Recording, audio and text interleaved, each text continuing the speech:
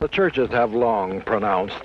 and they've said it ever since the New Testament was written, that we're for a non segregated church and a non segregated society. But it's been mostly talk. And during this year of 1963, it's clear that this crisis is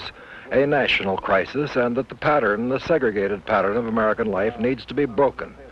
Uh, therefore, my own church, as well as the National Council of Churches, have uh, approved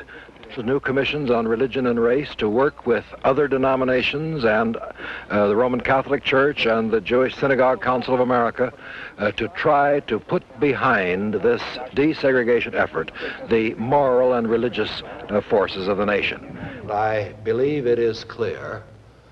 that the Negro community generally in the United States does not intend to accept the kinds of indignities and the kinds of disadvantages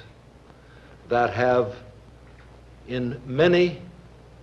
respects,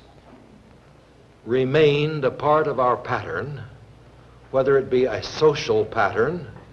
on the one hand, or a civil or an economic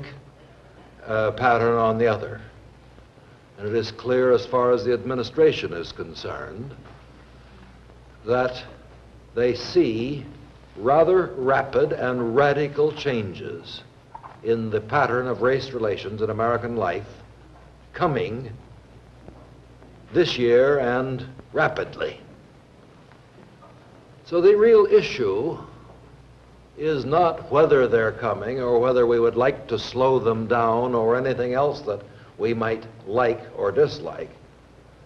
The fact is that the problem is whether these are going to be orderly, whether they are going to uh, uh, be voluntary,